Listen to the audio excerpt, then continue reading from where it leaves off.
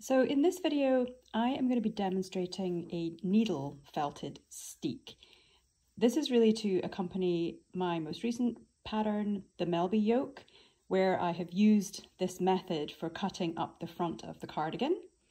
So I just really want to show what you're aiming for when you do a needle felted steek, how much needle felting you want to do and what you want the wrong side to look like. So I just have this little swatch here. Obviously, if you are knitting the Melby cardigan, you'll actually be cutting up the center where there will be steek stitches, which will look a little bit more like the outside edge of this swatch here. There'll be vertical columns that you'll be cutting.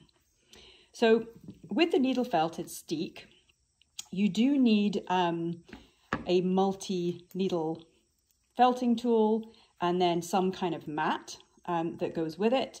So um, I ordered this as a kit. It's a clover um, needle felting tool. And you place the work on top of the mat with the right side facing you.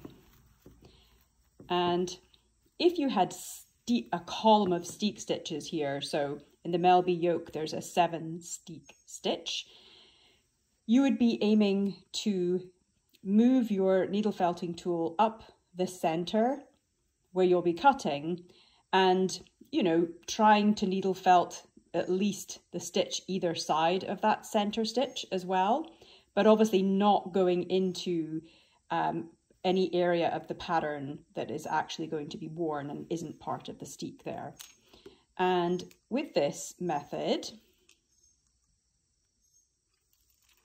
So I've just zoomed out a little further here for this portion. So I'm aiming, as I said, to go up the center here.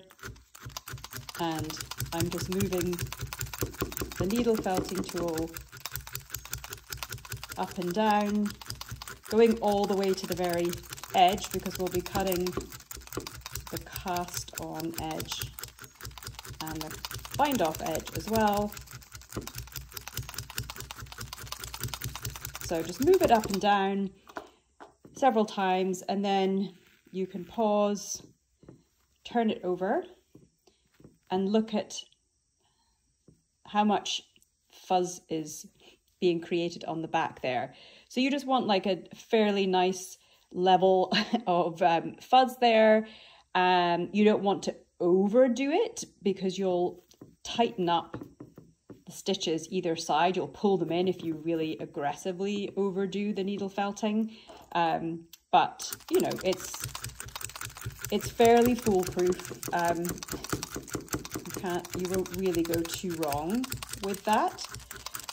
And the reason, the reason that I'm using it in the Melby yoke is that there's a good portion of the cardigan that is just in the main colour. So there's not Fair Isle um, stranded work happening over the steek.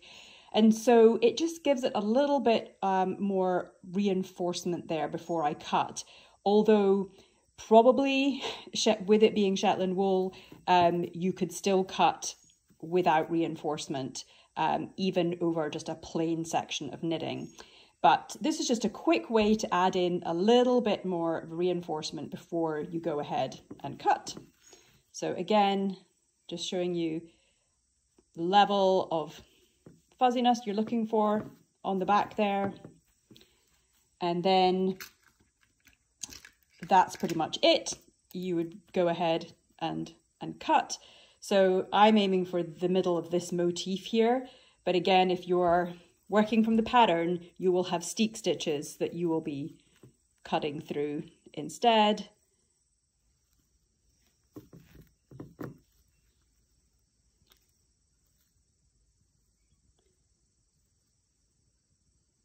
So just came close in again so you can see cutting up through the center line of this pattern motif.